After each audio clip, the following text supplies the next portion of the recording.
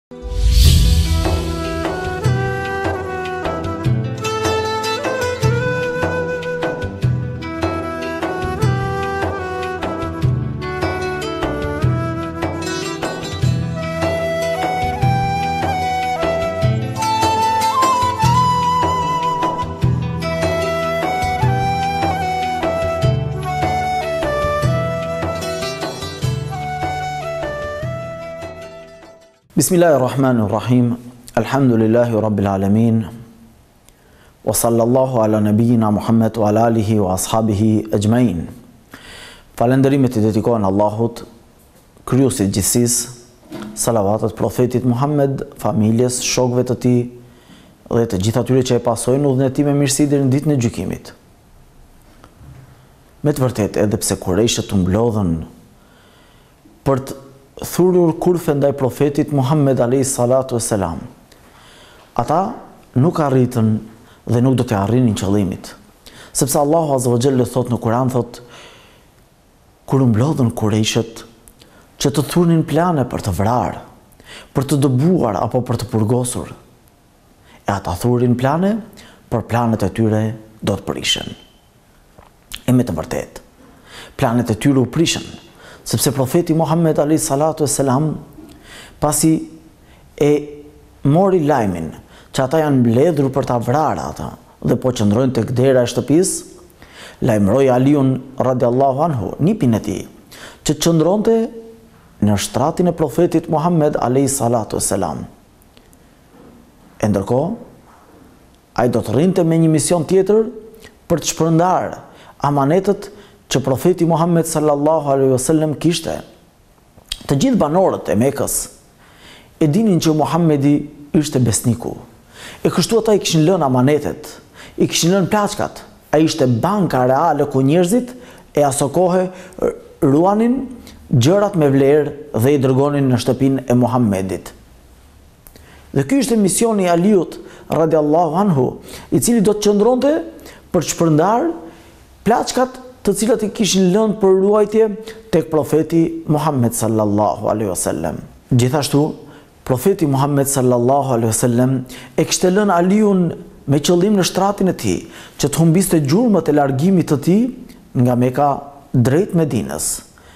që të humbiste gjurmët, që Kurejshët të mendonin se ai është duke fjetur gjumë, ndërkohë që Profeti Muhammed sallallahu alejhi ve sellem do të largohej. E kështu, Profeti Muhammed sallallahu alejhi ve sellem në errësirën e natës doli nga shtëpia e tij, e kaloi pranë dhjetë djelmoshave që rrinin tek porta e tij, ndërkohë që ai po kalonte përpara tyre, mori dhe nga toka Dhe iua vendosi secilit prej tyre mbi kokën e tyre.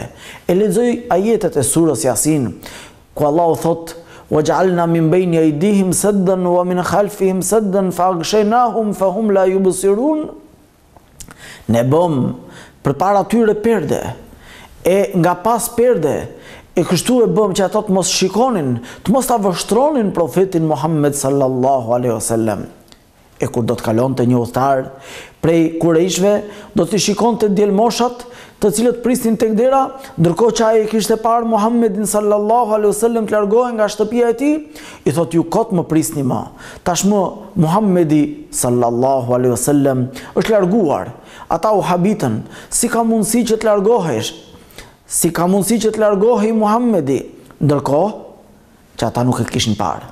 E në realitet, kur hapën sytë, panë që mbi kokat e secilit prej tyre kishte dhe, atëherë filluan që të qeshnin me njëri-tjetrin, në shenjë habie, sepse ato shikonin shokun e tyre, por nuk shikonin vetveten e tyre. E atëherë, ata e shqyen derën, u futën brenda, por ç'të shikonin, do të shikonin që ishte Aliu radijallahu anhu. Nuk ishte Muhamedi sallallahu alejhi ve sellem. Muhamedi alejhi salatu ve selam ishte larguar. Ai kishte shkuar së bashku me Ebu Bekrin dhe nuk kishin marrë rrugën në drejtim të Medinës. Por ata kishin marrë rrugën në drejtim të kundër të Medinës. Ata kishin marrë jo rrugën drejt veriut, nga është Medina, por kishin marrë rrugën drejt jugut, drejt Jemenit. Gjitha kjo strategji nga Profeti Muhammed sallallahu alejhi wasallam për të humbur gjurmët, në të cilat ai kërkohej dhe kurejshët kishin vendosur se kush e sjell kokën e Muhammedit alejhi salatu wasalam do të shpërblehej me 100 deve, të gjallë apo të vdekur. e Muhammedi sallallahu alaihi wasallam ishte larguar bashkë me Abu Bekrin dhe vendosen në jug në malin e Thaur. Aty gjendet një shpellë e cila mban emrin e malit Gar Thaur, shpella e Thaurit. Futet profeti Muhammed sallallahu alaihi wasallam me Abu Bekrin. Madje transmetohet se Abu Bekri i ka thënë profetit Muhammed sallallahu alaihi wasallam Qëndro, prit të futem unë ta shikoj. Futet Ebu Bekri radijallahu anhu dhe njërën prej vrimave që gjendej brenda në shpellë e zë, kurse te tjetra vendos këmbën e tij për ta mbyllur shpellën, pastaj i thotë Profetit Muhammed sallallahu alejhi ve sellem që futu brenda se i kam izoluar dhe kam kontrolluar shpellën. E ndërkohë, që profeti Muhammed sallallahu alaihi wasallam me Abu Bekrin futen në shpellë, njëkohësisht i kishin marrë të gjitha masat, të cilat ishin marrë nga ana e Abu Bekrit për të siguruar ushqimin, veshmbathjen dhe transportin e tyre drejt Medinës. Profeti Muhammed sallallahu alaihi wasallam gjatë qëndrimit në Gar Thaur bashkë me Abu Bekrin transmetohet se Profeti Muhamed, alejhi salatu e selam, ndërkohë që po flinte, një gjarpër, tek njëra prej vrimave në cilën Ebu Bekri kishte vendosur këmbën, e kishte pickuar Ebu Bekrin. Por ai nuk lëviz, që të mos shqetësonte profetin Muhamed sallallahu alejhi wasallam. E ndërkohë që nga dhimbjet atij i rrjedhin lotët nga sytë, e njëra prej pikave të lotit i bie mbi faqen e Profetit Muhammed alejhi salatu e selam, e atëherë ai zgjohet. E pyet Ebu Bekrin, Çfarë ke? Ebu Bekri i përgjigjet, Nuk kam asgjë, veçse një gjarpër më pickoi. Atëherë Profeti Muhammed sallallahu alejhi ve sellem i fryn këmbës së Ebu Bekrit e ajo shërohet sikur të mos kishte ndodhur asgjë. Ndërkohë që Kurejshët po kërkonin profetin Muhammed sallallahu alaihi wasallam. Por Ebu Bekri, njërin prej shërbëtorëve të tij, i cili e kishte emrin Amr ibn Fuhajre, e kishte bari të deleve të tij dhe ai ishte urdhëruar që gjatë mbrëmjes të vinte të kalonte pranë shpellës me bagëtitë, me delet, me qëllim që të ushqehej dhe të pinin qumësht Profeti Muhammed alayhi salatu wassalam dhe Ebu Bekri. Ndërkohë që jo vetëm që do t'i ushqente me qumësht, por Amir ibn Fuhere kishte si qëllim që të mbulonte gjurmët e këmbëve të Abdullah ibn Ebi Bekr, të djalit të Ebu Bekrit, i cili gjatë gjithë ditës qëndronte në Qabe, dhe dëgjonte lajmet e Kurejshve dhe në mbrëmje i sillte tek Profeti Muhammed sallallahu alaihi wasallam dhe tek Ebu Bekri. Kjo me të vërtetë na tregon neve se ne duhet që t'i marrim masat në çdo punë që bëjmë. Kjo na tregon neve sepse profeti Muhammed sallallahu alaihi wasallam bashkë me Ebu Bekrin i morën që të gjitha masat duke shfrytëzuar të gjitha mundësitë me të cilat ata duhej që patjetër t'i shfrytëzonin. Pra, duke u kujdesur për çdo detaj të udhëtimit të tyre. E kjo bie ndesh shpesh herë me shumë prej myslimanëve të cilët kur nisen që të bëjnë diçka, nuk marrin parasysh rrethanat në cilat duan në të cilat duhet që ta kryenin këtë punë. Ata nuk marrin parasysh shkaqet Prandaj Allahu Azza wa Jalla na ka treguar nga vetë jeta e Muhammedit sallallahu alaihi wasallam që ne duhet të marrim parasysh shkaqet. Ne duhet t'i bëjmë sebebet. Pastaj t'i mbështetemi Allahu xhalla xhelaluhu. E Allahu na e ka përmendur në shumë ajete kuranore, na e ka përmendur në versetet kuranore për të na treguar se ne duhet që së pari të marrim parasysh rrethanat e pastaj t'i mbështetemi Allahu xhalla xhelaluhu. Kështu duhet që të jetë myslimani. Që t'i bëjë dhe t'i marrë parasysh rrethanat. Nuk duhet që myslimani t'i mbështetet Allahut pa punuar.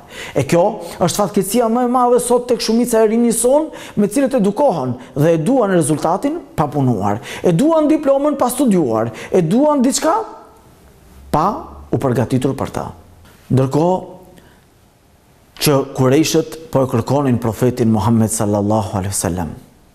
Ata vazhduan që ta kërkonin në të katër anët e Mekës. Fillimisht ato u vërsulën që të ishin në drejtim të Medinës, e nuk gjetën.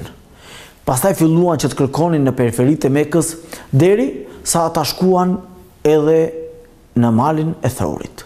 E normalisht, ata duke besuar se në, në malin e Theurit gjende një shpellë, shkuan pranë shpellës.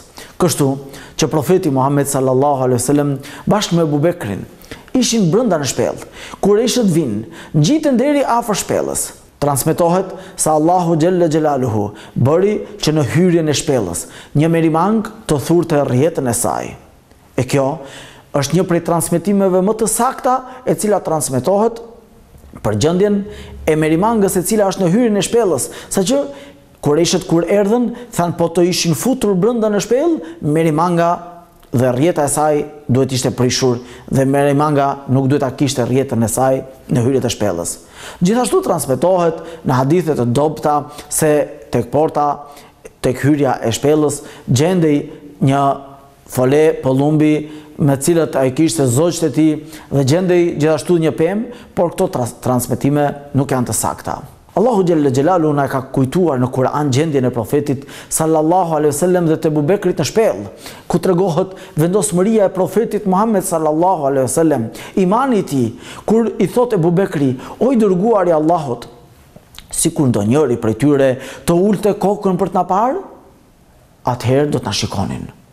Por Profeti Muhammed sallallahu alejhi ve sellem i përgjigjet, Ja Eba Bekër, ma balu thnejni, Allahu thalithuhuma, O Ebu Bekër, e si mendon ti për dy veta të cilët janë nën mbikëqyrjen e Allahut, Allahu është i treti i tyre?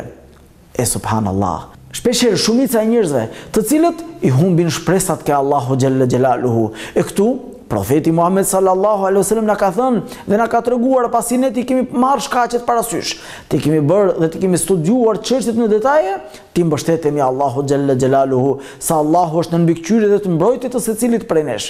Këtu vjen imani i Profetit Muhamed sallallahu alejhi ve selem, i cili ishte i mbështetur tek Allahu xhelle xhelaluhu.